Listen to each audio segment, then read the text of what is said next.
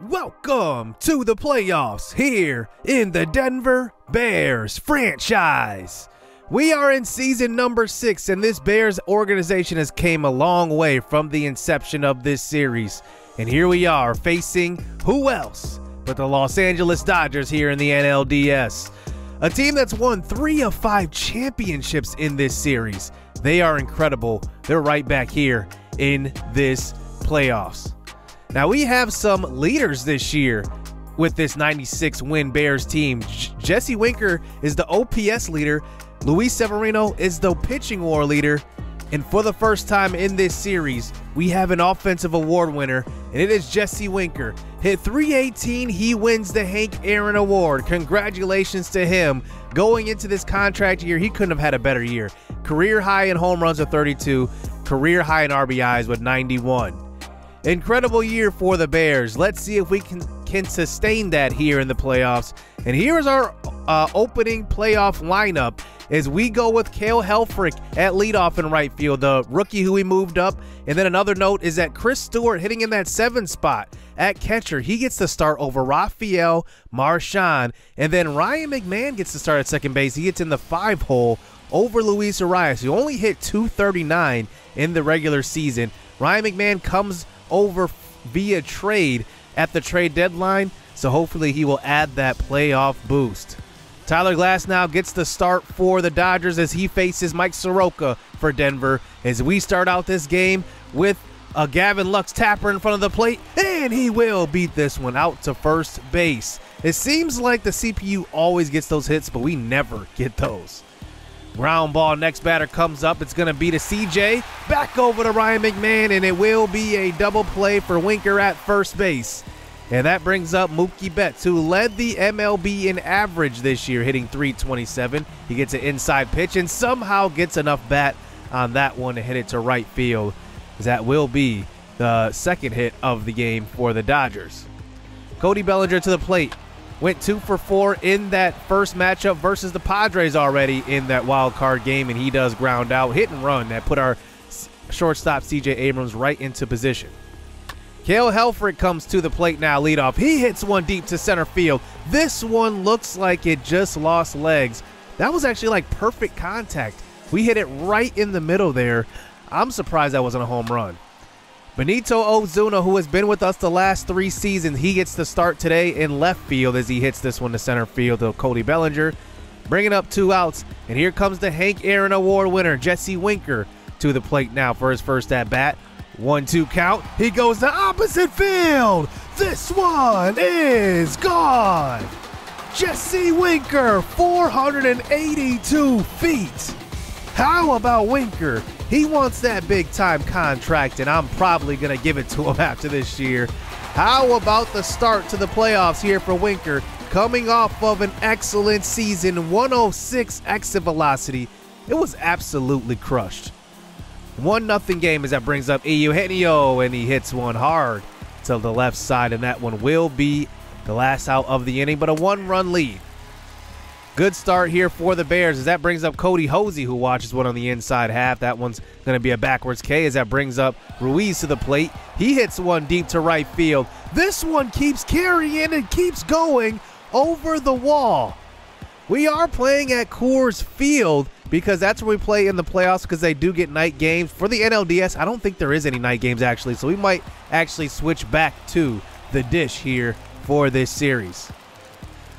So now here that brings up the next batter who gets another hit, bringing up Donovan Casey to the plate in the eighth hole. He hits one hard up the box, and that one gets through. One out here for the Dodgers as they continue to hit the ball well. That is already their fourth hit of the game. Tyler Glasnow to the plate now. He's just going to lay one down this time. It's a hard bunt past the pitcher, but Eugenio goes to second. I feel like a lot of the times the CPU just sabotages us. I don't know why he went to second on that throw. Gavin Lux to the plate now. Bases loaded, one out. Ground ball to the right side, and it will just be a double play. They only get one run out of that. But Keibert Ruiz does tie this ball game up. That brings up Bryan Reynolds, who we signed in the offseason. He is one of the highest paid position players on our team right now. He hits one to right center. That one's caught on the track by Cody Bellinger. No runs doing there in the top of the third as that brings up at the top of the bottom of the second. That brings up Mookie Betts, who absolutely hits one right down the left field line. 376. It's gone. A 2 to 1 lead here for the Dodgers. 102 exit velo as now they take the 2 to 1 lead. That brings up Cody Bellinger to the plate. He goes to left center, and that one will get to the wall. But look at Bellinger. He's got speed, and he will make it all the way to third. Left center gapper, and he gets to third base. That's incredible. Keibert Ruiz comes back to the plate. Who hit a homer earlier. He hits one to right field. This one should be caught by Kale Helfrich, but he does misplay it. He lollygags and jogs to the ball and then dives backwards for it and misses it. That's a reason why I say when I need to have Will Benson in there in right field, that's what I'm talking about. He doesn't let that happen, but the rookie makes a huge mistake. I don't know how that even happened. Max Muncy to the plate now. 3 to 1 game. He goes to opposite field as well. This one gets to the wall. Ozuna fields it off the wall. 4 to 1 here for the Dodgers. They have brought their bats today, and Muncy gives them the 4 to 1 lead. And now we're still not done. Donovan Casey to the play. He hits one to the right side, and that is going to be dropped right in front of Kale Helfrich. His second misplayed ball of this inning. And man, you got to be thinking that we got to go to the bullpen and pull Mike Soroka. Even though I don't think all these runs are his fault, he's been getting hit hard pretty well. So we have to go to Zach Little, who only pitched 17 innings in the regular season, but he pitched pretty well. But the hitting does not stop.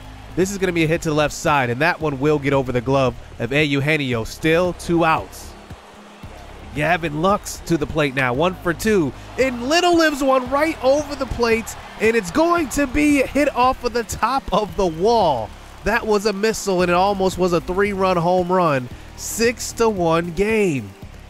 The Dodgers are just hitting the ball excellently. Jacob Amaya to the plate. He hits one deep. This one's got carry. Will Reynolds get to it? And he won't. It's off of the wall. A bases clearing double. Eight to one. The Dodgers have showed up early and often here. We go to the bullpen for the third, the second time in three innings. Atlas Luncic comes out of the pen. So that brings up Mookie Betts, and we just do not want to see any parts of him. He's two for two so far. But that brings up even a better hitter, Cody Bellinger, who goes to left field. That one is gone. 11 to 1. Every single season in the NLDS, this has happened. We face a team that is amazing offensively, and they just absolutely put it on us. Last year, it was the Phillies. This year, it's the Dodgers in game one. Incredible. 11 to 1 game. That brings up the next batter, and it just does not stop. Even a little blooper like that, I have no idea why Ryan McMahon didn't go after that one. It drops perfectly. Even on a missed time swing and everything, inside, out of the zone, it's still a hit. Ruiz comes up to the plate, and we finally get out of this third inning. Oh my goodness, 11 to 1. Believe it or not, the Dodgers go on to score seven more runs, bringing it to 18 to 3. Winker comes to the plate now, and then bottom of the ninth inning. We are getting absolutely destroyed in this one. Two outs, Ryan McMahon, last batter of the game. He will pop out to short center field. It's going to do it here in game number one. We want to just forget this game. This was probably the worst game I've ever seen, the worst inning I've ever seen in the playoffs here in this third inning. We were down by 11 runs, 10 runs, and we lost that one 18 to 3. Now, last year we were down 9 runs versus the Phillies, and we came back and won. That definitely did not happen today. So game number two, as Luis Severino does step on to the mound, we will quick manage every other game here. That's how I usually do it. And you can see right away, no runs to the first three innings. So I guess that is a good sign because the Dodgers have lit us up there in that third inning. So through five innings now, it looks like Jakob Junis is on on the mound, and that is going to be a nice little inning from the Bears. It looks like the middle of our lineup, including uh, Will Benson, who got the start in right field, Bryan Reynolds, and Chris Stewart came through with RBI singles. So now we move on to the seventh inning. It looks like we are still in this lead. Severino is still on the mound, has not given up a run so far, 10 strikeouts, and he gets through that eighth inning. Now on to the bottom of the eighth, we add some insurance, one more run as we move on to the ninth inning. Now with men on first and second, we decide to go to the bullpen. With two outs in this game, we want to go to our closer, Jordan Hicks, and he does get us out there with a strikeout it's going to be a 4 0 lead or 4 0 win here for the Denver Bears here in game number two. And now we move on to LA for game number three. But a good start there, giving us some momentum going on the road now. So Will Benson is going to get the start in right field today, and I just cannot stand how our defense plays in the playoffs. I don't know what it is, but no matter what we do, we always play poorly, and we're not going to put a bad defensive team out there today. We're going to put Muhammad Willingham in left field. I want to get him some burn at uh, at the plate because he does do tremendous in the playoffs. So I don't want to waste that bat on the bench. So he will start in left field, which is his his secondary position. And then at first base, we will have Winker, and in right field, we will have Will Benson. CJ Abrams hits in the leadoff spot today. He is hitting 286 in the playoffs. He hits just a chopper to second base that one will be just a ground out. Winker started out game number one with the home run in his first at bat. Let's see if he can replicate that 3 1 pitch outside, and he will draw the walk. Eugenio up to the plate. He has not gotten a hit so far in the playoffs. This one's low. Chopper to third. It will just be a ground out. Hopefully, he breaks this slump soon because last playoffs, he was our best player. Ramel Kapher comes to the plate or comes to the mound today. He was injured for two months during the season, and it kind of, you know, you saw the rust. He was 8 9 this year. He definitely wasn't the same pitcher he was a year ago. Let's see what he does here in the playoffs, though. Cody Bellinger to the plate, ground ball to second, and we do get out of this first inning. No damage done. Bryan Reynolds up in the top of the second inning. He's hitting 333 so far, has started every game, and he does walk. As that brings up Chris Stewart, who has started at catcher. He goes to right field, and that one will get through the infield.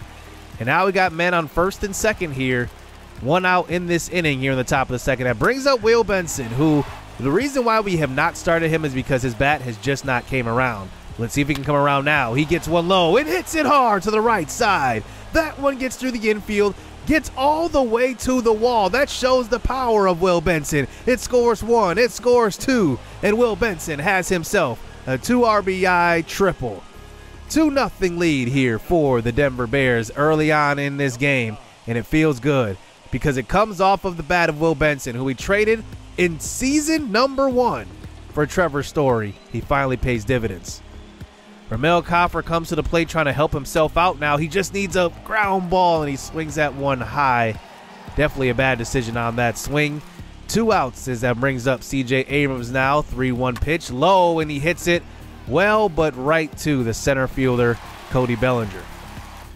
At least we have the lead now going into the bottom of the second inning as that brings up Jacob Amaya to the plate, and he hits one to right center. The bats of the Dodgers have been well alive in this series to center field. It will be a double. As now they have Cody Hosey at the plate here, no outs. A tapper down the left third base line, and it looks like it's going to be a single. Why does this happen to us? All of these singles that seem to be so lucky, and it's funny because I look at the the reticle and everything after the fact, and it looks like they're not even making solid contact on these pitches. Max Muncy at the plate with bases loaded now after a walk. That one will be a strike three. As that brings up the pitcher, Walker Buehler. He's already one for one in the playoffs. Make it two for two. He goes to left field. And what do you know it? Even the pitchers are hitting the ball well off of us. It's a two to one game. Now, for those saying that I'm terrible at pitching, I'm literally using classic pitching and catcher suggestions. So this is all the CPU calling the game. So we walk in a run now. It's 2 2.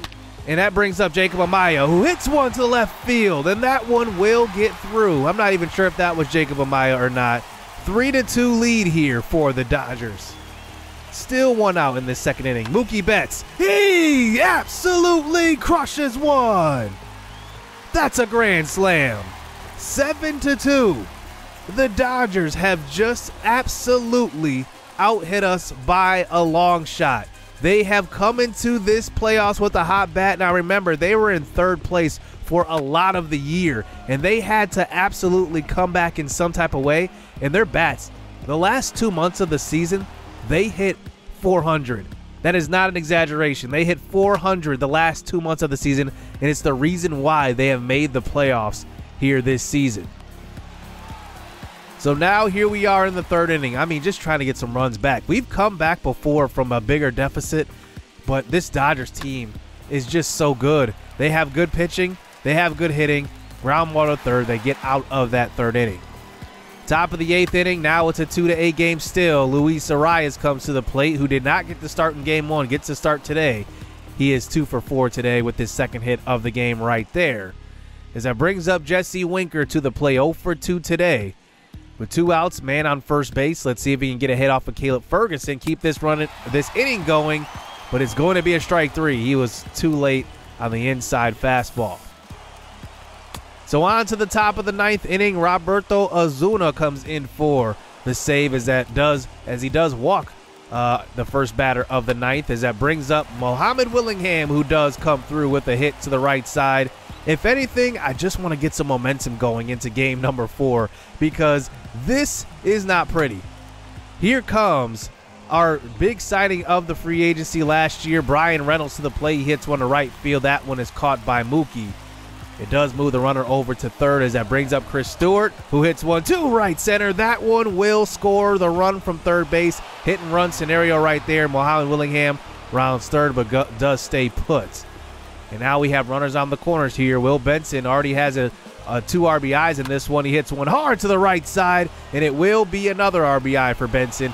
Good for him. He has really come around with his bat. I'm excited to see what he does for the rest of these playoffs, and hopefully we get out of this round because it does not look pretty right now. Kale Helfrich comes in to pinch hit for the pitcher, and he just has not been hitting the ball well either. Fly ball to second base. Two outs here in the ninth inning. Bringing up CJ Abrams could be our last hope. Inside pitch, and it's going to be ball four. So this inning does continue here. Luis Arraez to the plate, two for four in this game, 2 2 pitch. He hits one to left center. Will it get down? It looks like it will, but it doesn't at the last second. Caden Rogers runs that one down. 9 to 4 loss for the Denver Bears. Going into game number four, we are definitely going to have to out hit the Dodgers. I have no idea who's going to get the start. It could be Mike Salucci. Last time he saved us, he would ha- he might have to do it again, and we get the loss. The Dodgers take the two to one lead. We have one more game in LA. We're gonna have to steal that one before going back to Denver. We'll see. Down two to one with the Denver Bears come back versus this high-powered Dodgers offense. Hit subscribe, hit that like button. Stay tuned. Let's get it. Let's go. Boy, all that like. Still got crack, they fiendin'. Flow still hot like Phoenix. Shine so bright, I'm gleaming. This off top, I'm tweaking. Fresh out the rat like Neiman. And I'm still trying to fight my demons. Cause we all gotta act like Tina. That's why I gotta ride with the Nina. Outside, it's a war going on.